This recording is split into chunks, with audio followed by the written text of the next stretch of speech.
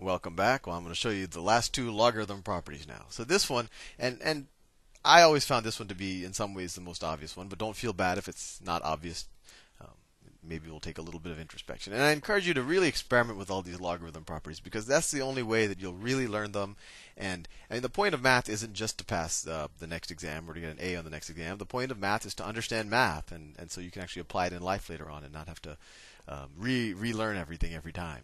So the next logarithm property is if I have a times the logarithm base b of c, if I have a times this whole thing, that that equals that equals logarithm base b of c to the a power. Fascinating. So let's see if this works out. So let's say if I have, I don't know, 3 times logarithm base 2 of mm, 8. So this property tells us that this is going to be the same thing as logarithm base 2 of 8 to the third power. And that's the same thing. Well, that's the same thing as well, we could we could figure it out. But so let's see what this is. 3 times log base what's log base 2 of 8? I, I the reason why I kind of hesitated a second ago is because every time I want to figure something out, I uh, I implicitly want to use log and exponential rules kind of to do it. So I'm I'm trying to avoid that. But anyway, going back. So so what is this? Log bit 2 to what power is 8? Well, 2 to the third power is 8, right? So that's 3. And we have this 3 here. So 3 times 3. So this thing right here should equal 9. If this equals 9, then we know that this property works at least for this example. You don't know if it works for all examples, and for that, maybe you'd, you'd want to look at, at, at, the proof we have in, in the other videos. But that's kind of a you know, a more advanced topic. But it, the, the important thing first is just to understand how to use it. So let's see. What is 2 to the ninth power? Well, it's going to be some large. Actually, I know what it is. It's uh, it's 256 because we just in the last video we figured out that 2 to the eighth was equal to 256, and so 2 to the ninth should be 512. So this, so 2 to the ninth should be 512. So if 8 to the third is also 512, then then we are correct, right? Because log base 2 of 512 is going to be equal to 9. What's 8 to the third? It's 64 times, right? 8 times 8 squared is 64, so 8 cubed. So let's see, 4 times 2 is 3. 6 times 8, it looks like it's 512. Correct. And there was other ways you could have done it, because you know you could have said 8 to the third is the same thing as 2 to the ninth. How do we know that?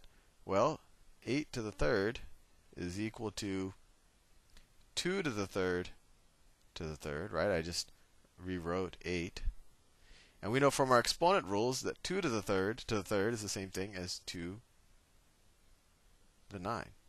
And actually, it's this expo exponent property where you can multiply. When you take something to an exponent and then take that to an exponent, and you can essentially just multiply the exponents, that's the exponent property that actually leads to this logarithm property. But I'm not going to dwell on that too much in this presentation. There's a whole video on, on kind of proving it a little bit more formally. The next logarithm property I'm going to show you, and then I'll review everything and maybe do some examples. This is probably the single most useful logarithm property if you are a calculator addict. And I'll show you why. So let's say I have log, log, log base b of a is equal to log base c of a divided by log base c of b. Now, why is this a useful property if you are a calculator addict? Well, let's say you go to a class and there's a quiz. The, the teacher says we, you can use your calculator, and using your calculator, I want you to figure out the log base 17 of 353. 7. And you will scramble and look for the log base 17 button on your calculator and not find it because there is no log base 17 number uh, uh, uh, button on your calculator. You'll probably either have a log button or you'll have an ln button. And just so you know, the log button on your calculator is probably base 10 and your ln number, your uh, ln uh, button on your calculator is going to be base e. For those of you who aren't familiar with e, don't worry about it. But it's you know 2.71 something something. It's a number. It's nothing you know that it's it's an amazing number. But we'll we'll talk more about that in a future presentation.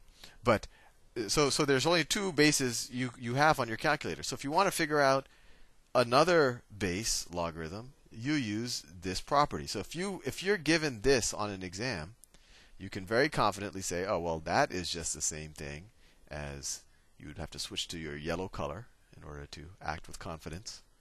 Log base, let's, you know, we could do either e or 10, but you could say that's the same thing as log base 10 of 357 divided by log base 10 of 17. So you literally could just say, you know, type in 357 in your calculator and press the log button, and you're going to get bam, bam, bam, bam then you know you can clear it, or if you know how to use a parenthesis on your calculator, you can do that. But then you say, you know, you press type 17 in your calculator, press the log button, you go bam, bam, bam, and then you just divide them, and you get your answer.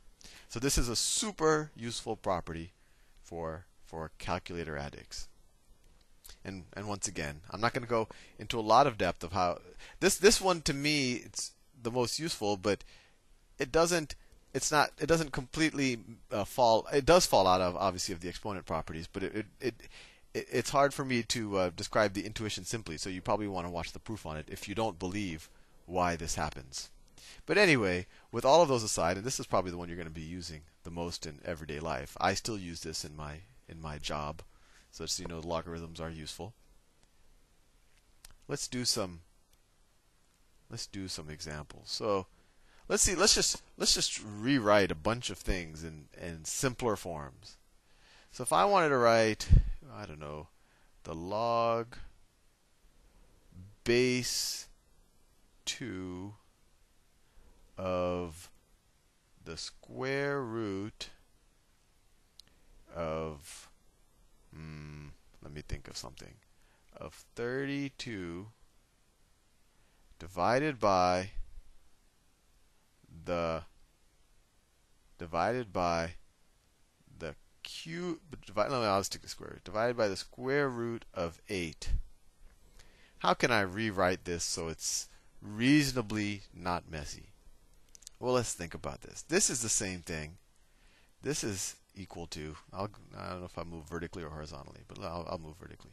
This is the same thing as the log base 2 of 32 over the square root of 8 to the 1 half power, right? And we know from our logarithm properties, the third one we learned, that that is the same thing as 1 half times the logarithm logarithm of 32 divided by the square root of 8, right? I just took the exponent and made that the coefficient on the entire thing, and we learned that in the beginning of this video. And now we have a little quotient here, right? Logarithm of 32 divided by logarithm of square root of 8. Well, we can use our other logarithm. Let's keep the 1 half out. That's going to equal, whoops, parentheses, logarithm, oh, I forgot my base, logarithm base 2 of 32 minus, right, because this is in the quotient, minus the logarithm base 2 of the square root of 8. Right? And let's see. Well, here, once again, we have a square root here, so we could say that this is equal to 1 half times log base 2 of 32 minus this 8 to the 1 half, which is the same thing as 1 half log base 2 of 8. We learned that property in the beginning of this presentation. And then if we want, we can distribute this original 1 half, and this equals 1 half log base 2 of 32 minus 1 half minus 1 fourth, because we have to distribute that 1 half, minus 1 fourth log base 2 of 8. This is 5 halves, minus, this is 3, 3 times 1 fourth, minus 3 fourths. Or 10 fourths minus 3 fourths is equal to 7 fourths. I probably made some arithmetic arithmetic errors, but you get the point. See you soon.